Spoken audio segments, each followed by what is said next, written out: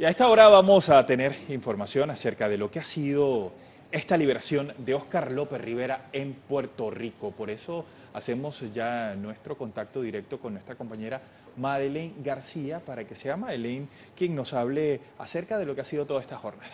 Allí lo vemos. Madeleine, cuéntanos, te escuchamos. Hola, saludos. Bueno, ha sido un día intenso, un día lleno de muchísimas emociones, desde las 6 de la mañana esperando pues que salieran por la puerta del edificio donde eh, pagó en estos últimos meses casa por cárcel. Y luego de allí Oscar López Rivera pues dio sus primeras palabras a la prensa y finalmente hizo una rueda de prensa, una rueda de prensa con los diferentes medios de comunicación. Nosotros continuamos aquí en la plaza pública de Río Piedra. Y es que detrás de mí están todavía grupos musicales rindiendo tributo a Oscar López Rivera. Y en medio de esta algarabía, de esta fiesta, de esta emoción, pues uno de los mensajes justo aquí hace pocos minutos en la plaza era que el pueblo de Puerto Rico debería, debía despertar para llegar finalmente a la descolonización. Vamos a escuchar las palabras de Oscar López Quiero, quiero recordarle algo. Puerto Rico, Puerto Rico es un sitio precioso. Puerto Rico es una patria, una patria digna, digna de tener un gobierno que le importe mucho la vida de todo y toda boricua. Necesitamos, necesitamos, hoy más que nunca antes, llegar, llegar a un momento, a un momento de despertar, despertar amor, despertar la patria, despertar para descolonizar nuestras mentes, descolonizar la patria. Para lograr la descolonización, decía Oscar López Rivera, unidad y aceptación en medio de las diferencias, convencer a aquel para que el destino de este país sea mejor. Vamos a. Necesitamos, necesitamos una lucha, una lucha de unidad. Y solo, solo encontrando la unidad vamos a empoderarnos. Vamos a hacer de, este, de esta patria una patria fuerte, una patria fuerte, una patria linda, una patria completa. No, no podemos seguir siendo seres colonizados.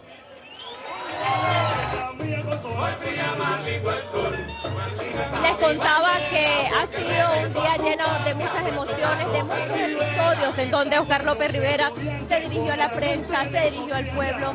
Además de eso se encontró con los viejos amigos, pero también tuvo tiempo de conversar con el presidente de Venezuela, Nicolás Maduro, a quien agradeció profundamente, al igual que los gobiernos de Nicaragua, de Cuba, de Bolivia, de Ecuador, por levantar su voz cuando él estaba en, la cárcel, preso, y que abogaron precisamente por su libertad. El presidente Nicolás Maduro sostuvo una llamada telefónica y desde Telesur nosotros la transmitimos allí. Además dijo que era el propio pueblo venezolano, sin injerencia de los Estados Unidos, quien debía decidir los destinos del país. Vamos a darte un abrazo a través de esta llamada y darte las gracias por toda la fuerza que nos das que has dado a la humanidad buena, a nuestra América buena. Felicidades, Oscar. Bueno, bueno, bueno, señor presidente, yo, yo me siento, me siento puertorriqueño, pero también me siento venezolano entre cuando y cuando. Y quiero que sepa el pueblo venezolano que este boricua, este boricua ama mucho, ama mucho la justicia y la libertad.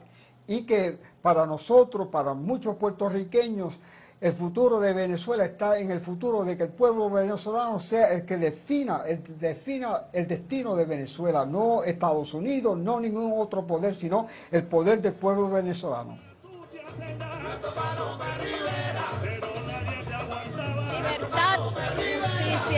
Paz para Venezuela, pero también conciencia para el pueblo de Puerto Rico, que ahorita vive un momento crucial en su país, y es que eh, precisamente Abraham, hay una huelga de estudiantes, el movimiento estudiantil tiene cerradas las puertas de la universidad porque pretenden privatizar no solamente la universidad,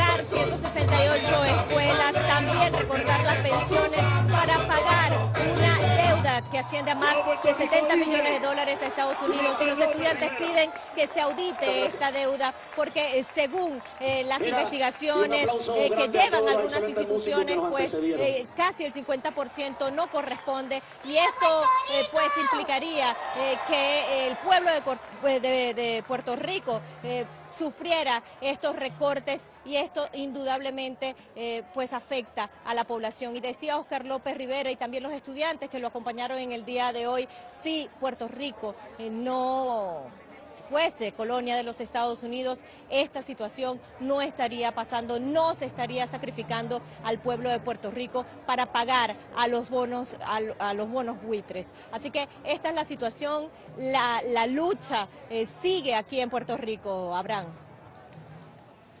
Ahí está, Maelén García. Muchísimas gracias por eso, Maelén. Y vamos a contarles acerca de lo que ha sido esta jornada el día de hoy en un trabajo que hemos preparado sobre esto. Adelante. Abrazos de victoria. Luego de tanta lucha, lograron la libertad de Oscar López Rivera. Es un símbolo de, es un símbolo de unidad puertorriqueña y, y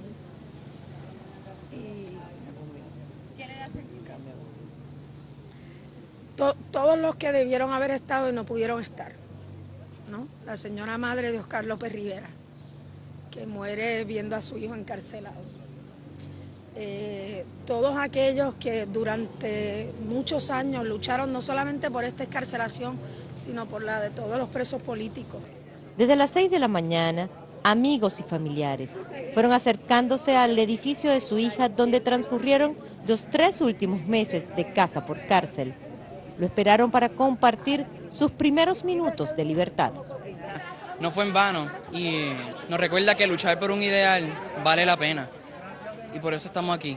Estamos enorgullecidos y Oscar López ha mostrado ser uno de nuestros héroes, es de nuestros héroes, aguantando a su, a su pensar y a su ideal 36 años de cárcel.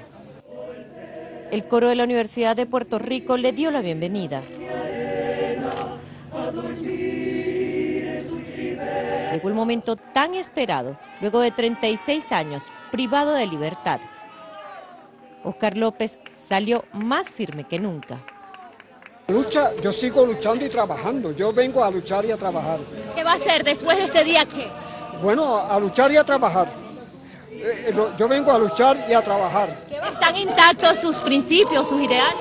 Todo, todo está intacto. Además de eso, yo creo que mi espíritu mi dignidad y mi honor están mucho, mucho más incómodos hoy que el día que entré a la prisión. Convencido que la libertad de Puerto Rico sigue siendo el camino. ¿Lucha por la libertad del país, de la independencia de Estados Unidos?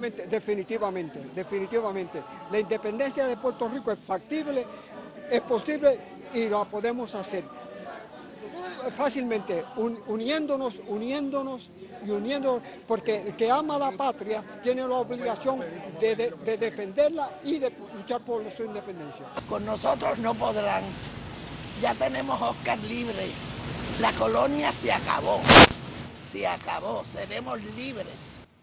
Parte pues de lo que aquí se vive en Puerto Rico, ahora inicia una nueva fase por seguir la lucha por la independencia.